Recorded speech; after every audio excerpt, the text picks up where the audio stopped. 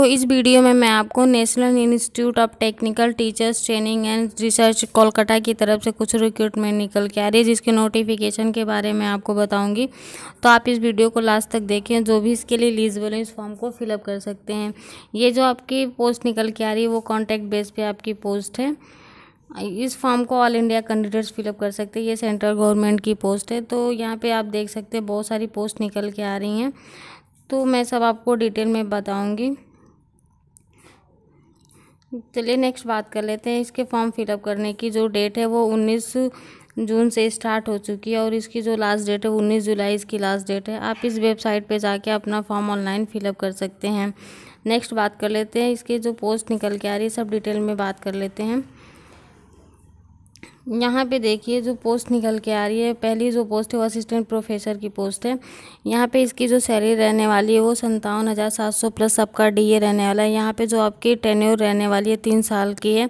यहाँ पे number of post जो है, आठ नंबर ऑफ़ पोस्ट है। सेकेंड जो पोस्ट निकल के आ रही है टेक्निकल असिस्टेंट ग्रेड सेकेंड के सिविल के लिए पोस्ट निकल के आ रही है। यहाँ पर जो इसकी सैलरी रहने वाली है, वो उनतीस हज़ार दो सौ प्लस अब डी रहने वाला है। यहाँ पर भी आपका जो टेन्योर है, वो तीन साल का रहने वाला है। इसमें जो नंबर ऑफ़ पोस्ट है वो एक है। अदर ब्रांच वाले भी जैसे इलेक्ट्रिकल और पोस्ट जो निकल के आ रही है तो इस नोटिफिकेशन में देख सकते हैं और जो इसके लिए एलिजिबल इस फॉर्म को फिलअप कर सकते हैं।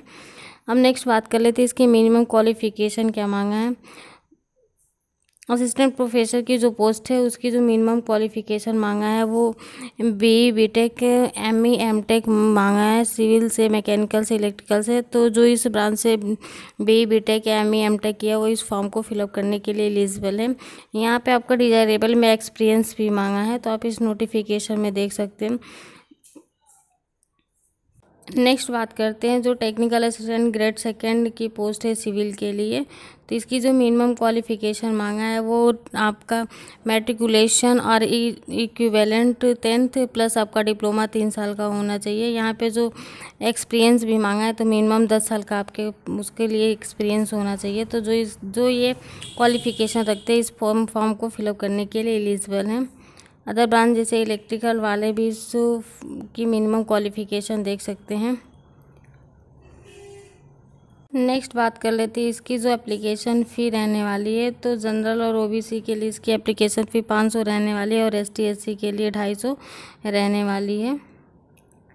यहाँ पे नेक्स्ट बात कर लेते हैं एज लिमिट की। तो यहाँ पे पोस्ट वाइज एज लिमिट दिया है। यहाँ पे जो असिस्टेंट प्रोफेसर की पोस्ट है, उसकी एज लिमिट नहीं मेंशन किया है। और जो technical assistant grade second devil civil की जो पोस्ट है, उसके लिए जो मैक्सिमम एज दिया वो थर्टी फाइव ईयर दिया है। अदर ब्रांच वाले भी देख सकते हैं कि उनकी जो एज लिमिट है, वो क्या दिया है। यहाँ पे आपको एज रिलैक्सेशन भी मिलेगा तो आप इस नोटिफिकेशन में देख सकते हैं। आप इस नोटिफिकेशन में देख सकते हैं कि आपको कौन कौन से डॉक्यूमेंट्स सबमिट करने होंगे। यहाँ पे नेक्स्ट बात कर लेते हैं आपके जो सिलेक्शन प्रोसेस रहने वाला है। वो क्या है? तो यहाँ पे जो पहली पोस्ट निकल के आ रही है असिस्टेंट प्रोफेसर की तो इसकी जो आपके सिलेक्शन प्रोसेस रहने वाला है तो यहाँ पे आपको शॉर्ट लिस्ट किया जाएगा। On the basis of percentage आपके क्वालिफिकेशन एक्सपीरियंस पे आपको शॉर्ट लिस्ट किया जाएगा। उसके बाद आपको डॉक्यूमेंट वेरिफिकेशन और इंटरव्यू के लिए बुलाया जाएगा। यहाँ पर आपका कोई रिटर्न टेस्ट नहीं होने वाला है। जो आपकी जो सेकेंड पोस्ट है technical assistant grade second civil की पोस्ट या फिर इलेक्ट्रिकल की पोस्ट है तो इसमें आपका एक ऑनलाइन टेस्ट होगा रिटर्न यहाँ पे देखिए आपका एक ऑनलाइन टेस्ट होगा।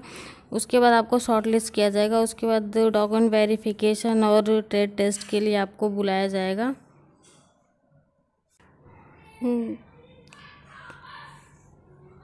अदर पोस्ट वाले भी अपना यहाँ पे देख सकते हैं। उनके सिलेक्शन प्रोसेस क्या रहने वाला है।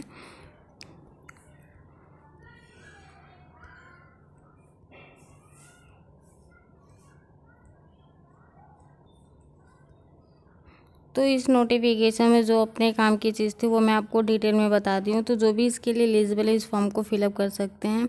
और सिविल इंजीनियरिंग के लिए स्टडी मटेरियल और जॉब अपडेट के लिए आप टेलीग्राम चैनल ज्वाइन कर सकते हैं। टेलीग्राम चैनल का जो लिंक है, वो वीडियो के डिस्क्रिप्शन में नीचे दिया है। तो आप उस लिंक पर जाएँ और टेलीग्राम चैनल ज्वाइन करें, जिससे आपको स्टडी मटेरियल और जॉब अपडेट मिलती रहेगी।